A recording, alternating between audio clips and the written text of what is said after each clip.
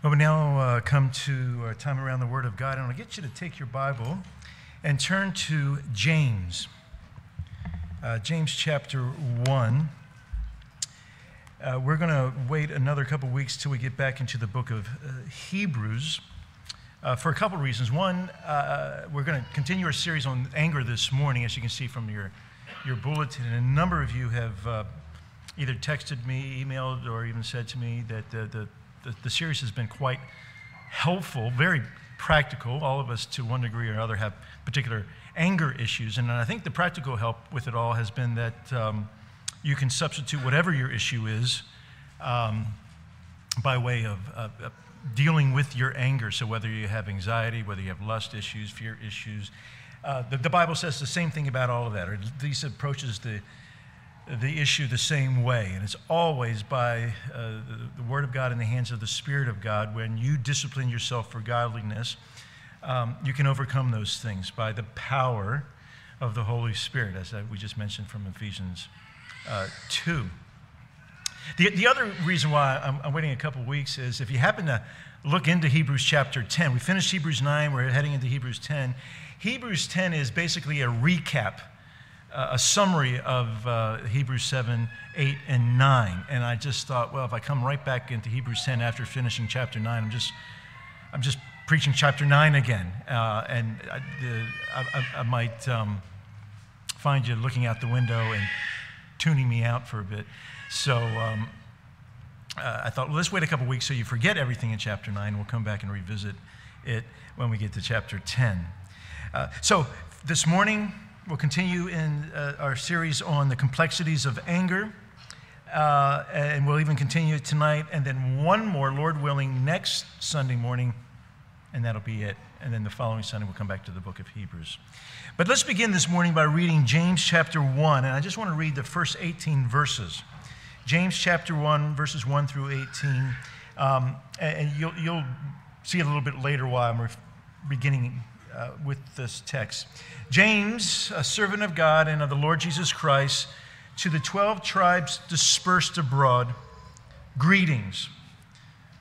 Consider it a great joy, my brothers and sisters, whenever you experience various trials, because you know that the testing of your faith produces endurance. And let endurance have its full effect, so that you may be mature and complete, lacking nothing. Now, if any of you lacks wisdom, he should ask God, who gives you all generously and ungrudgingly, and it will be given to him. But let him ask in faith without doubting. For the doubter is like the surging sea driven and tossed by the wind. That person should not expect to receive anything from the Lord, being double minded and unstable in all his ways. Let the brother of humble circumstances boast in his exaltation but let the rich boast in his humiliation, because he will pass away like a flower of the field.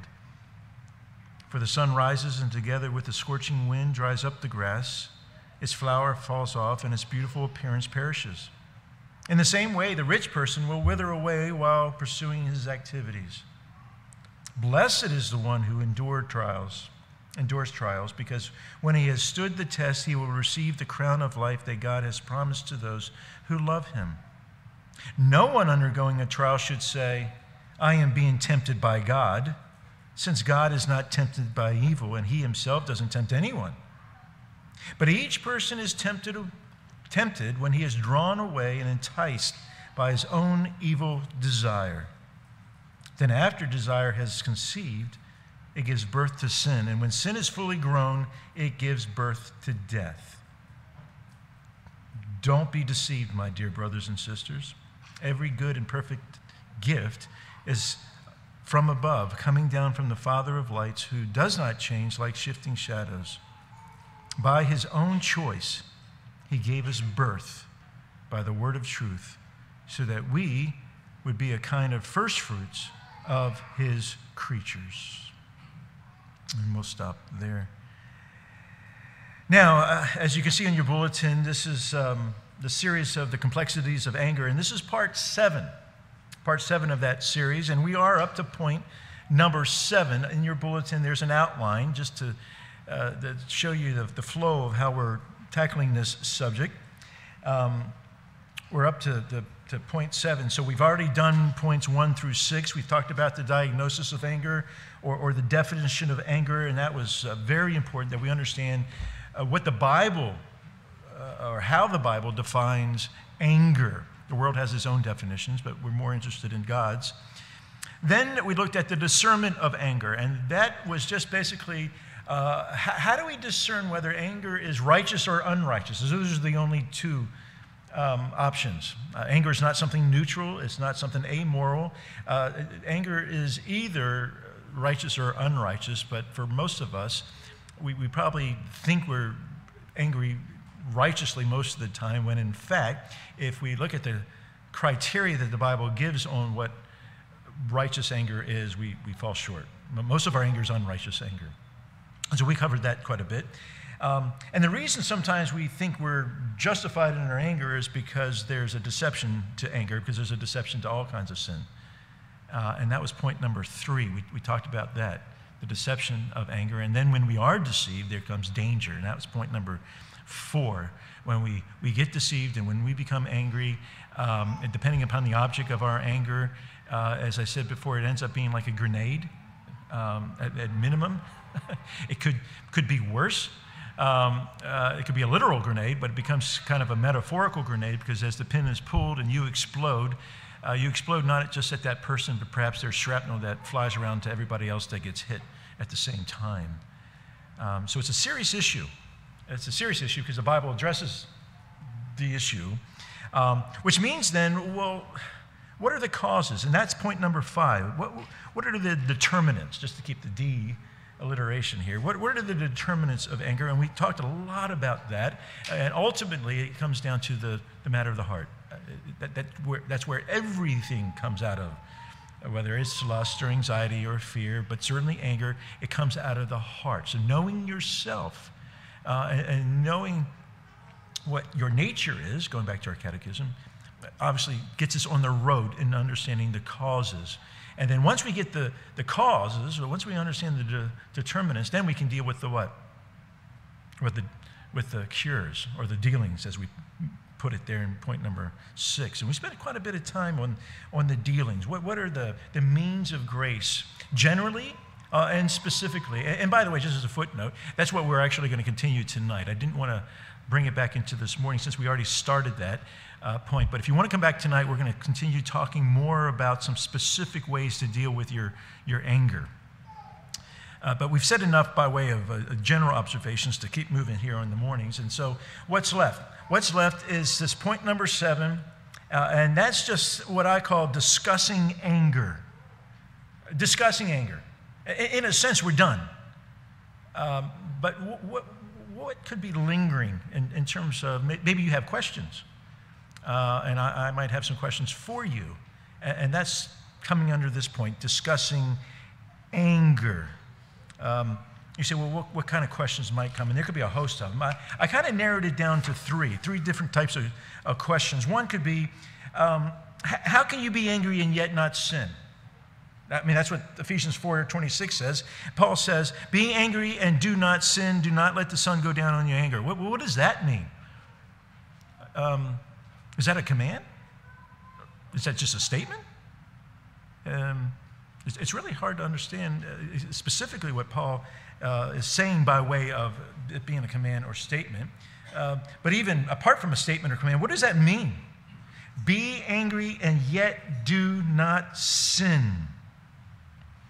Uh, I don't know if you know that he's actually quoting a psalm here. He's quoting Psalm 4. So, in many respects, we would have to go back to probably Psalm 4, understand Psalm 4, and then bring it back here to Ephesians to get that. But I, am going to bypass that. That's a good question. And maybe we can come back to that if I get enough um, suggestions in the suggestion box. Todd, please come back to that. I, I will. Uh, but I'm going to bypass that. Another question I'm going to bypass is this um, Is it okay to be angry with yourself? Now, I'm, I'm chuckling just asking the question because I, I just find it silly. But, but you hear that all the time. Um, you, you may not hear it in the church, but you, you would hear it outside. You know, my problem is I've never forgiven myself. You ever heard that before? What does that mean? I have no idea what that means. Forgive myself? I mean, that's my problem. I just have to forgive myself. I mean, obviously, the first question we ask is that biblical? No. Um, forgive myself? There's nowhere in the Bible that talks about that I need to forgive myself, and thus, you know, it's okay to be angry with yourself. But again, I, I, that I think we can just immediately bypass. Which then leads us to a, a third question, and it's the question I want to park us in and, and, begin discussing this morning. And everything I want to say about it won't be finished, so we'll have to come back and finish it next Sunday, but we'll, we'll get a, a, start. And it's this question. And it's, it's, it, it's, it's the question um, I, I, think will be probably the most practical of, of all the things we've talked about. And, and the question is is it ever permissible to be angry with God? You got that? that, that? That's what I want us to just really uh, get a handle on and certainly answer and be convinced of, of the answer. But is it okay to be angry with God? Is it ever justifiable?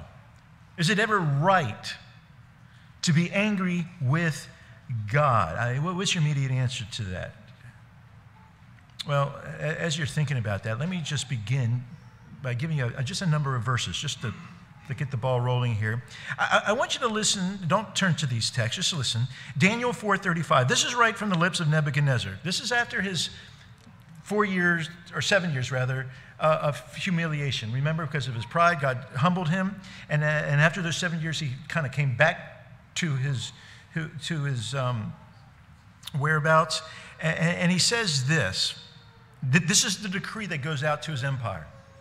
And, and, and, just a footnote, I think I think Daniel had a hand in this. The, the way that it's worded, um, you, it just looks like Daniel had a, a, a, word in this. And by the way, I think we will see Nebuchadnezzar in heaven one day.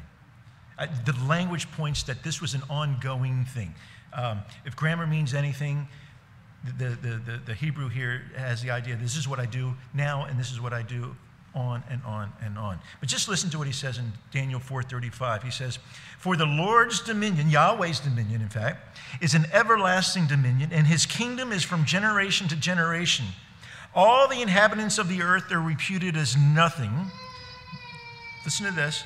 He does according to his will in the army of heaven and among the inhabitants of the earth. No one no one can restrain his hand or say to him, What have you done? And that's what I'm zeroing in on. No one. No one can restrain his hand, no one can oppose him, nor can anyone say, What have you done? And why have you done it? In other words, no one can question God. God is God. That's his point. You can't question God. Now, Paul says something similar in Romans chapter 9. Remember, with the whole objections to the doctrine of election, he says this Who are you, a mere human being, to criticize God? Should the thing that was created say to the one who made it, Why have you made me like this? That's, that's God's reply. You got some objections about what God does. Who are you? Who are you? Again, you can't question God. Jeremiah and we may talk more about Jeremiah and Lamentations next week because it's one of my favorite texts in this whole discussion. But, but for now, Lamentations 3, and this goes a bit further. Notice what Jeremiah says in Lamentations. And the reason it's Lamentations is because Jerusalem just what? What, what was destroyed, right? Jerusalem is destroyed. Woe is the city. He's lamenting, hence lamentations, about the, the destruction of the city, but also the destruction of the people, and he himself getting caught up in all of that. And he says this Can anything happen without the Lord's permission? Is it not the Most High who helps one and harms another? Then why should we, mere humans, complain when we are punished for our sins? That's Lamentations 3:39 if you want to look that up. In other words, you can't complain. You're a sinner. As long as you are out of hell, you have nothing to complain about. Right?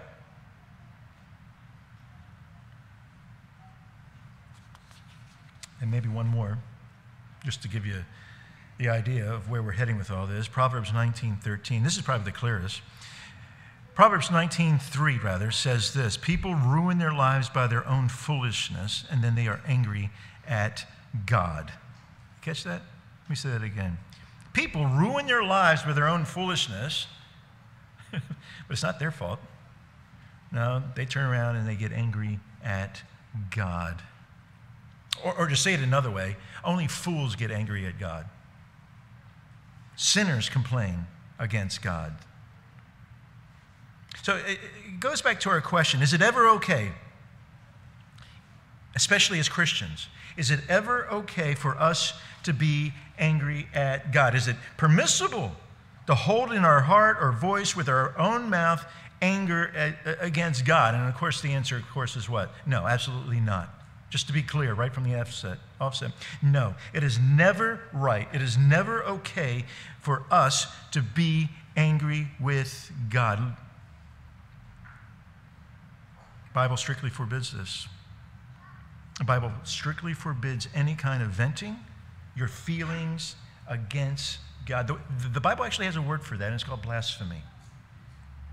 Those are blasphemous thoughts, and I know we have all had them. That's why this is a very practical subject. You remember in Pilgrim's Progress, he's walking by uh, the delectable mountains and, and, and he, he hears voices. He voices from the hole that's coming down, all these shrieks and everything. And then all of a sudden, it says he hears it from his own head. Is the heart of man. Never, never is it okay to be angry with God. It is a blasphemy. And there's two reasons that we need to, to really pull all of this out, unpack it, to, to, for, for why we need to discuss this. Two reasons. One, uh, regrettably, the Church of Jesus Christ at large shows much confusion on this matter, and I'll, I'll give you some examples of that pretty soon. I mean, I asked you guys the question is it ever okay to be angry with God? And I hope all of you would say, no, it's never. But there's Christians out there that actually say, no, it's okay to be angry with God. And you can be angry with God.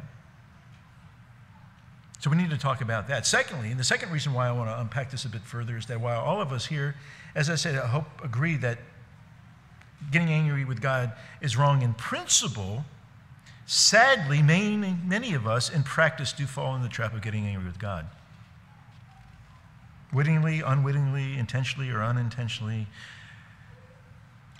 at times, in the midst of our pain, in the midst of our grief, in the midst of our suffering, we, like Adam, you are the one that gave me her, that put me into this trouble.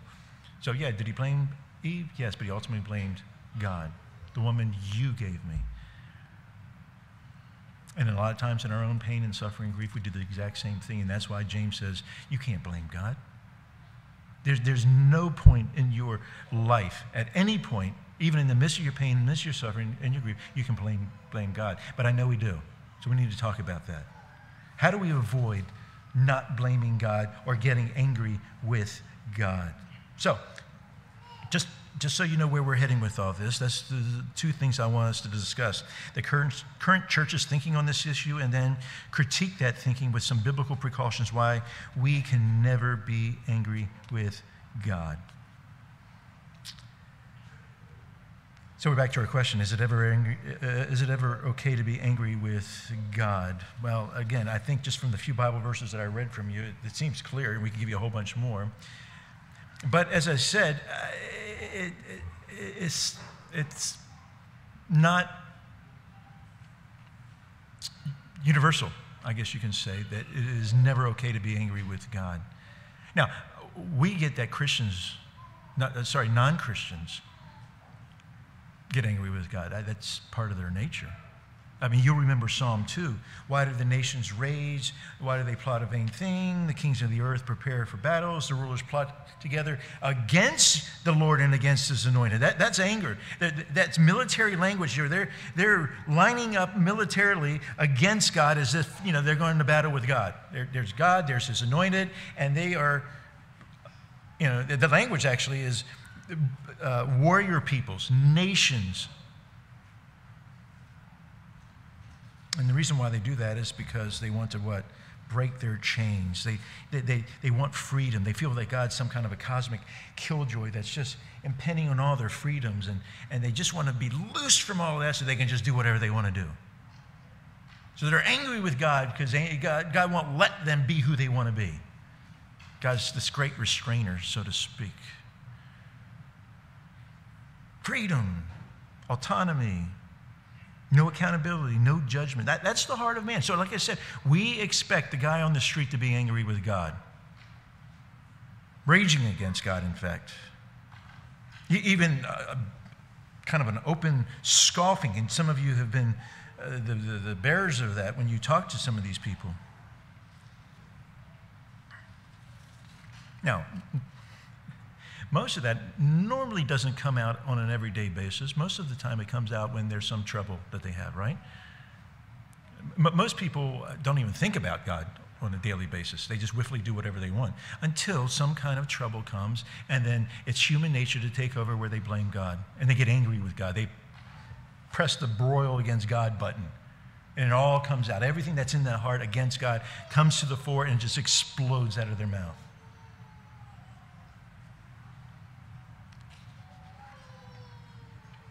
Remember Job's wife? You, you could say Job's wife speaks for them all.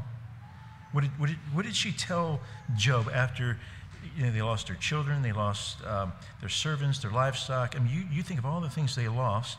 Uh, Job's wife comes along to Job and says, two words, what? Curse God. Curse God. Curse God and die, Job. Curse him. Shout blasphemies at God. Just, just take your Bible and turn to Revelation 16 so you, you can see it not just in one person, but you can see it in a group. And in Revelation 16, three, ty- three times in just one chapter, it says that men blaspheme and curse God when judgment's coming upon the earth, these bowl judgments that are unleashed in Revelation 16.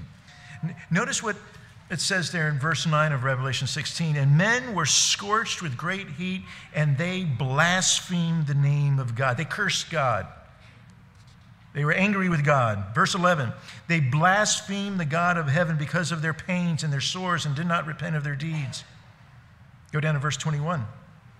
And great hail from heaven fell upon men, each hailstone weighing 75 pounds. And then what? Men blasphemed God because of the hail, since that plague was exceedingly great. The more heat that came, the more judgment that came, the greater what? Blasphemy all coming from the heart of men. And as I said, we expect this. We expect this from unbelievers. We expect this from those whose heart is hardened by unbelief, uh, who love sin, and ultimately, with their love of sin, they hate God. They're angry with God. And, and it comes to a point where they're openly, what? Cussing Him out, blaspheming.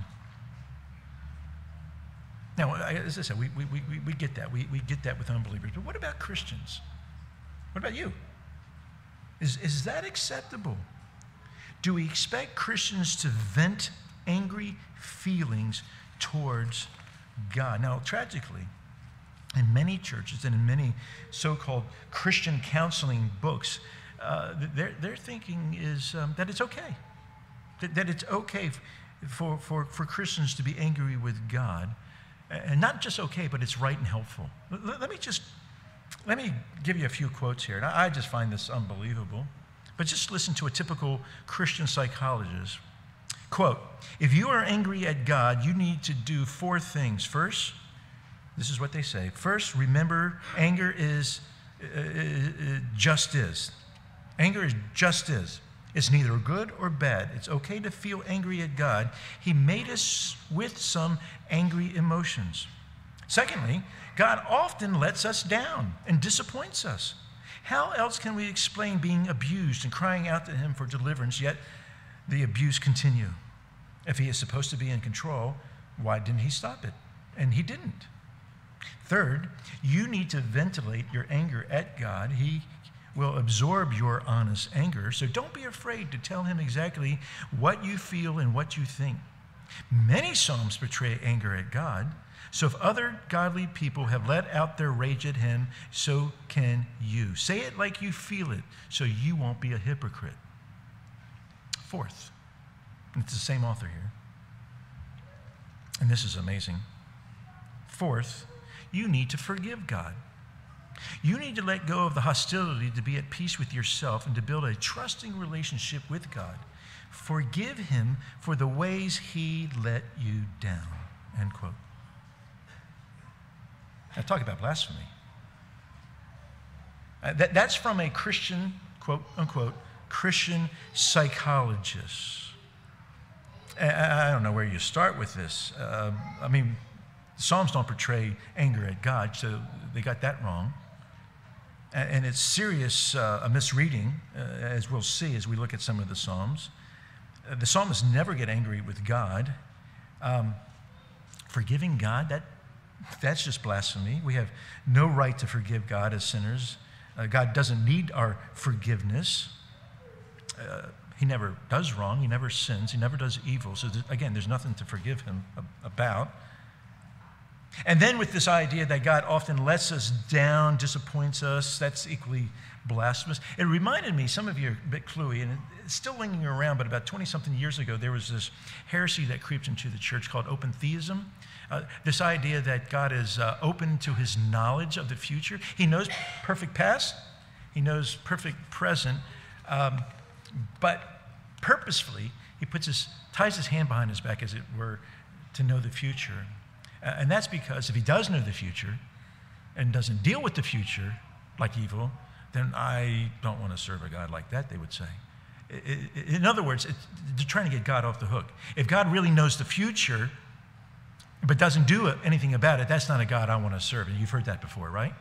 But if God doesn't know the future, then I, I can deal with a God like that a bit more. So I, I can't blame him if something bad happens because he didn't know about it. You see that? That's, that's heresy. That's not what the Bible says. The, Bi- the Bible is very clear that God knows the perfect past, He knows the perfect present, and He, and he knows the perfect uh, future. In fact, He's already planned the future. And, and, it, and it's just unraveling as He's planned, even at this moment. I think I said it a couple of weeks ago. The very fact that the Bible begins with in the beginning assumes there's an end. In the beginning, God created the heavens and the earth. Th- that three letter, three word phrase in the beginning assumes that there's going to be an end. In fact, Isaiah says, From the beginning to the end, I am God and there is no other.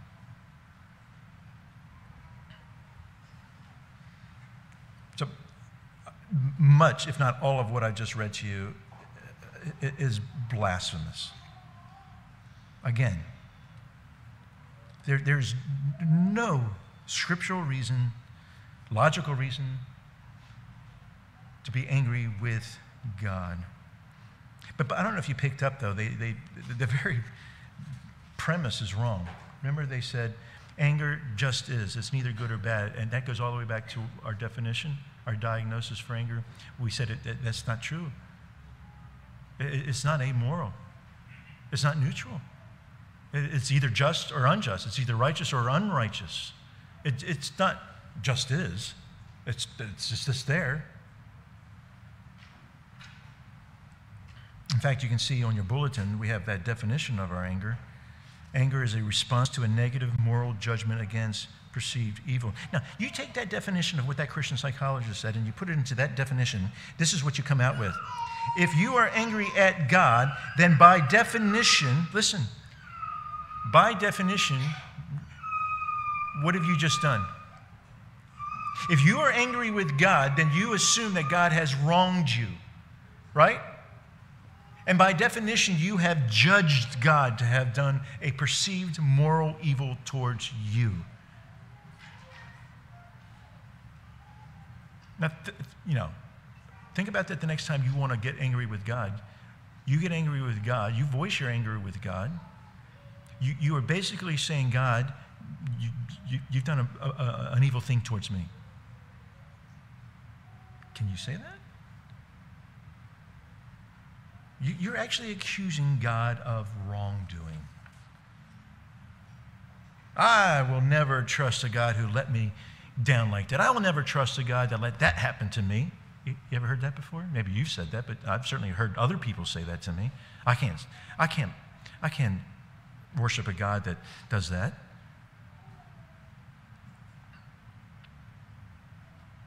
And maybe we um, said it in those specific words, but Maybe we have said it in ways like, you know, where's God in all this? Why would the Lord let me face such a nightmare? I mean, after all I've done for you, Lord, is this the thanks I get? Is, is this what a good God does to his people? I mean, you've heard those kind of questions, maybe even asked them yourself. It all goes back to none of us like pain, none of us like suffering, none, none of us like trials. But once we understand the purpose of pain, suffering, and trials, we would never say that. In fact, we would embrace our pain, suffering, and trials. I mean, I just read for you James 1. What do the pain and the trials and the suffering do? It produces what? Maturity. It produces Christ's likeness. That's why you consider it all. Most people don't know the purpose of trials. Most Christians don't understand the purpose of trials. And if you understood the purpose of trials, you wouldn't ask these questions. Again, you would never accuse God of wrongdoing. Now, why do we ask those questions? And, and, sometimes the questions are okay. It's just the, the attitude behind the questions. I mean, we'll look at the Psalms. The Psalms ask why, why, why all the time. How long, how long? There, there's a distance there, but there's also a, a, a submissive, humble attitude in understanding that God is God and, and I am not, but I'm not angry with God. The psalmists never betray anger. They might complain to God, but they never complain about God. And there's a big difference there. Did you catch that? You're in a covenantal relationship with Him. And as a covenantal relationship, whether He's the king and you are the, uh, the slave, uh, you, you have that relationship where you can. Like you come to your parents. But you never complain them about God. You can complain to God. But, but, but begs the question why do we sometimes complain about God and ask some of these blasphemous questions? Well, uh, just to diagnose it, it's because God did not give you what you thought you should have done. Do you catch that? You thought you deserved X, Y, and Z. He didn't give you X, Y, and Z, so you are angry with him for not giving you X, Y, and Z. It's, it's pretty simple. And if you stop and think and meditate, and you go, yeah, Todd's right. That's exactly how it went down. Sometimes we think that God's some, some, some magical genie that if I just, you know, rub the lamp, he comes out and he gives me my wishes. And if he doesn't get my wishes, go, well, go back in the lamp. Right? The way he doesn't give you what you thought he should have done, or have given you, or the way he should have given it to you, or when he should have given it to you. Uh, any of those little scenarios, you get angry the what, the why, the when. In, in, in, all of it, you, you believe God has failed you. And as a result, we judge him. That, that's at the root of our anger towards God. Listen, what we want, listen carefully, what we want and what we believe about God is where the whole thing comes undone. You got that? You, you, you wrestle with that and you're clear on that, that that'll be the end of it. First, your wants and desires were not met, they were not fulfilled. And then, secondly, you believe that God should have given you those wants and desires. And because He didn't give you those wants and desires that you thought you deserved, you get angry with Him. Think about Cain. We talked about Cain before, but he's a good example of this. Cain, Genesis 4, he gets angry with God. And why? Because God didn't give him what he wanted. David, David gets angry with God in 1 Chronicles 13 because Uzzah reached out his hand to steady the Ark of the Covenant. Remember that? I mean, God, all the things I've done for you, we're bringing back the Ark, and you do this? Jonah, of course, is a good example. He gets angry with God. Why does he get angry with God? Oh, you saved those those wretched Ninevites, those Assyrians. Why did you do that?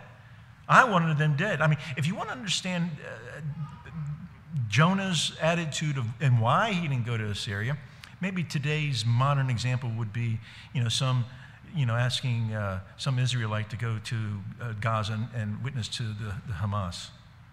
I mean, that, that's, that's the attitude towards each other. That's why he ran off. And then when he did preach and they did get converted, he gets angry over it. I mean, what was it? What was at the root of his anger? It was his evil heart. At the end of the day, he craved the destruction of his enemies more than the glory of God would gain through the, the, the, the mass conversion of the Ninevites. How selfish can you get? I mean, in a word, Jonah believed that God did not act in the way that he should. And, and again, that's all of us. That, that's all of us. When we don't get what we think God should give us, and, and, and, look, there's some, some things we, we would want, and they're good things. I think I mentioned a couple weeks. You, you might want to get married if you're single. And, and if you're married, uh, you might want kids, and those are good things. To get married, to have children. But when God doesn't give you what you want, even though it's a good thing, and He doesn't give it to you when you want it and how you want it, you get angry. And you get angry because you think you deserve it. And you, you might say under your breath, well, what's the point of serving then? I mean, what's the, what's the use of obeying? What's the use of faithful to me if he's not going to give me what I want? I mean, I think I should get it. And maybe you will. You just might need to wait. Maybe you need to mature a bit. Maybe you need to learn some lessons about God in the waiting. But all of this points to the heart. And in fact, if you're sitting there thinking, I deserve this and I deserve that because I've ticked this box and I've ticked that box and I've done all this for God and He hasn't given me what I wanted, well, you just sound like a Pharisee. I mean, what's, what's behind the motives of your obedience then? I mean, if you're ticking all the religious boxes just so you can get stuff from God, that's, that, that's just unbelief. That's self righteousness right there. Legalism, in fact. Listen to biblical counselor David Powlison. Now, this is a good quote. This is what he says on this particular issue. He says, God has never promised freedom from tears, mourning, crying, and pain, or from the evils that cause them until the great day when life and joy triumph forever over death and misery. The interweaving of God's glory and our well being is far bigger than people imagine. People who are angry with God have often believed false promises or overlaid their own unjustified expectations upon God. They have then become angry with a disappointing God, sometimes confusing his actions and motives with Satan's and with evil people who imitate the devil's cruelty. End quote. You catch that? In other words, those who get angry with God are actually accusing him to be the devil or, or, or at least acting devilish, believing him to be the same kind of cosmic killjoy who just loves tormenting people, playing a, a so called game with my life. In the end, ironically, it is the devil who's won. Why? Because those lies about God, those, those, all those lies that, that he's not good and he's not benevolent and he doesn't know what he's doing that, that's all unbelief. You believe the lie. Proverbs 33 says what? Buy the truth, buy the truth, and don't sell it. But you sold it. You believe the lie. God's not unjust, or that He is unjust, rather, that He is unfair, that He is unloving, that He's not all wise, that He's not all powerful. You, you, you believed all the lies. Remember A.W. Tozer? Yeah, I think it's A.W. Tozer. There's two AWs, AW Pink, AW Tozer. But A.W. Tozer, the first line of his book, The Knowledge of the Holy, says the first thing that comes to your mind when you think about God says everything about you. And that's so true. The first thing that comes into your mind about God is basically a commentary on you.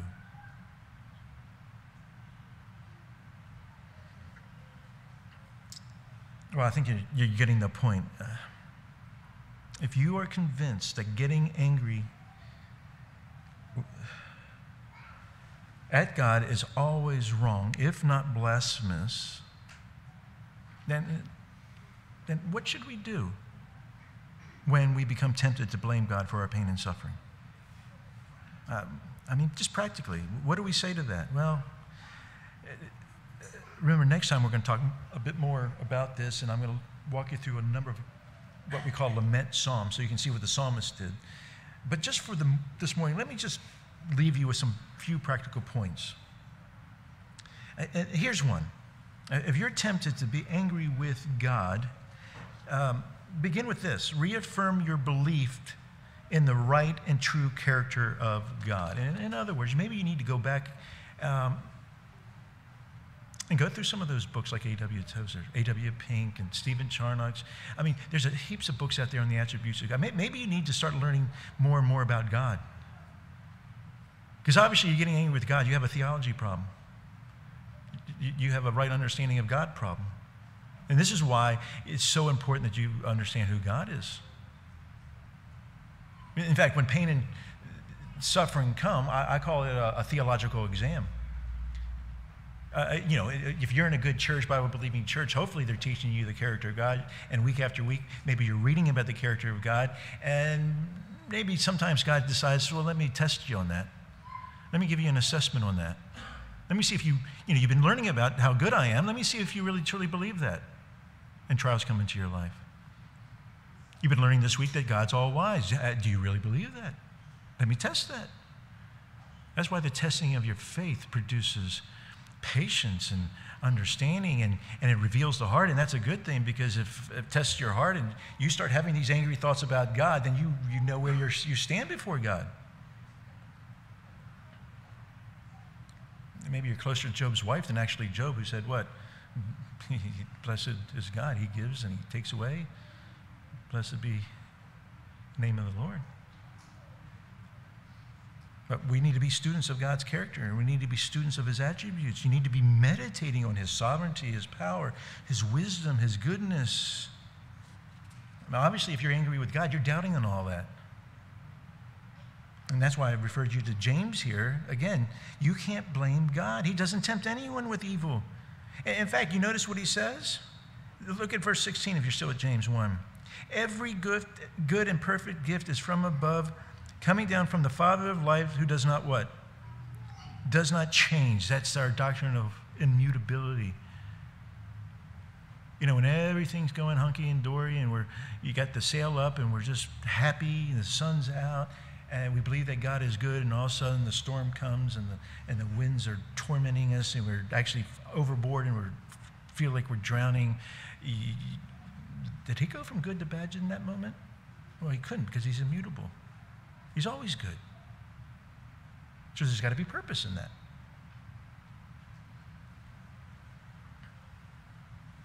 You always go back to the true character of God. Not the lies. Study God. And, and notice he says in verse 16, don't be deceived. We, we get deceived. So you study God's attributes, you study God's nature, you study God's promises, His covenantal promises, you study His providences, you, you find it in Scripture.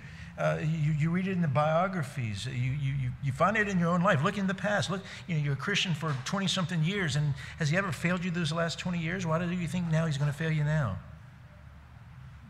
This is what we, we, we talked about in the dealings with anger or dealings with any issue is meditation. Sit, pause, read scripture, Pray, think through, talk to yourself. Why are you in despair, O my soul? Why are you angry, O my soul? Fill in the blank there, whatever it is. Mean, sit down, look back over your life, and count all the ways God has been faithful and good to you up until now. Then ask yourself, ask yourself this question: Do you really believe that God has now changed His character or abandoned His love for you in the midst of your suffering? Do you really believe that He is capricious and reckless with your life? James says, well, he can't because by his own choice he gave us birth through the word of truth so that he would be a, we would be a kind of first fruits from his creatures. In other words, you know how good God is? He, he saved you, didn't he? He bought you. And in one sense, he can do whatever he wants with you.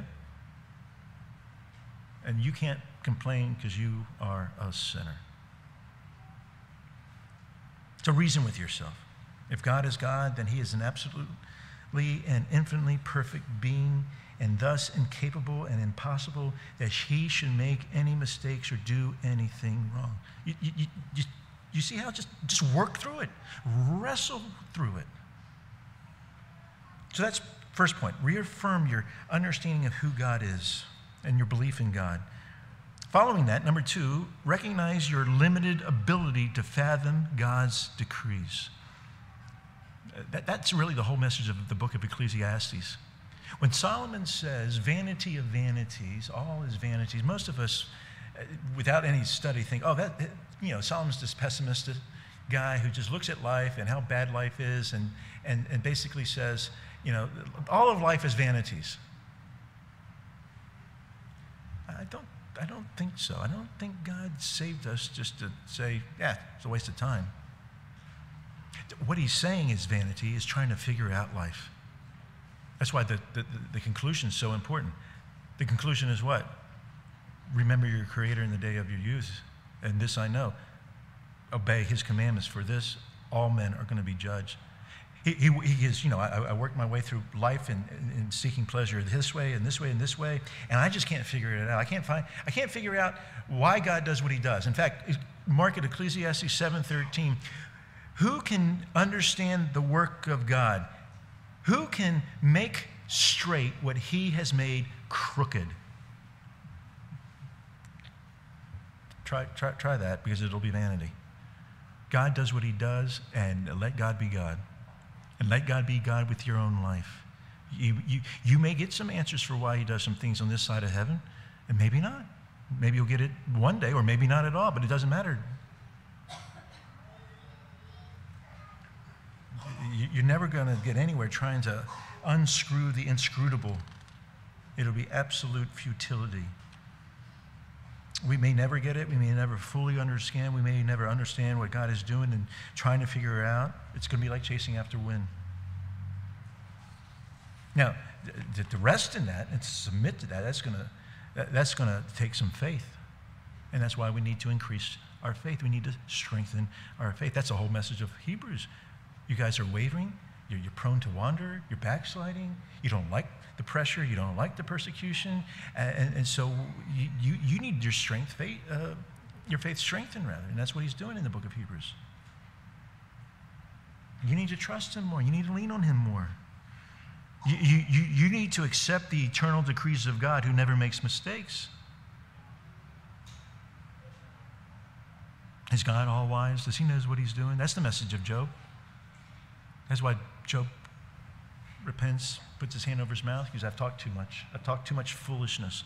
I'm going to let God be God. God knows, God says, look, if I, if I have enough wisdom to, to build this universe, to uphold this universe, and, and, and look at all the animals that I've created. And I mean, look at all that I've done, but you are made in my image and you're my most precious creation. If I have enough wisdom to deal with this whole universe, don't you think I have enough wisdom to deal with you? I get it. Who has found fault with the Almighty? You can't. And then finally, number three, which I'll break down into three other points, what I call the three A's.